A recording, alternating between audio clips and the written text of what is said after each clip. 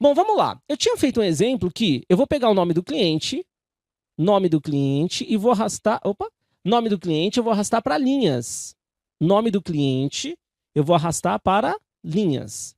Significa que eu tenho o nome do cliente na linha 4, 5, 6 e 7, nas linhas.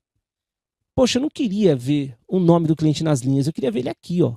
Ah, então você quer ver na coluna, né? B, C, D, E. Então tá bom. Então você pega o seu cliente e arrasta para a coluna.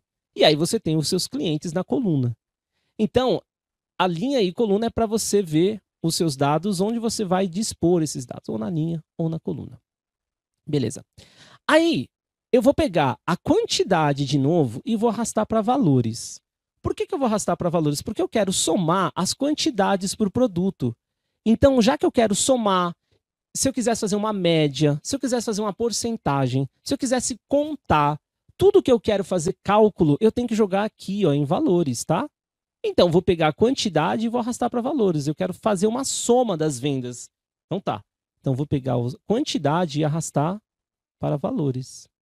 E ele me trouxe automaticamente a soma. Olha as vantagens de trabalhar com tabela.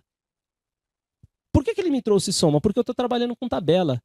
Ele já entende que a coluna quantidade é um campo numérico. E geralmente, campo numérico, você quer fazer soma. Geralmente. Então, ele já muda para soma para você. E aqui, eu tinha falado de um problema para você que era a atualização, né? Lembra? Oh, eu vou colocar mais um dado, tal. Vou repetir, repetir o processo. Lembra? Eu fiz isso, ó, celular da Juliana, vou dar um Ctrl C, Ctrl V. Juliana esqueceu e foi lá e comprou de novo, né?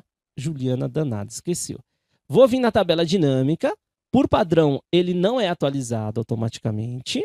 Não é, tá? Aí o que, que você tem que fazer? Clicar com o botão direito e atualizar. Você lembra que no outro não tinha dado certo. Agora, atualizei, já deu 40. Então ele já deu certo. Então eu não preciso mais ficar ajustando os dados da minha tabela dinâmica. Lembra que eu te falei que quem não trabalha com tabela e tal?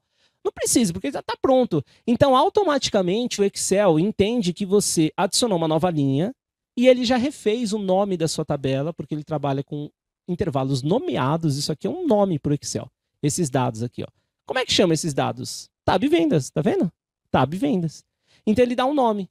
Lá na minha tabela dinâmica, na origem dos dados, eu vou ver já, justamente o nome.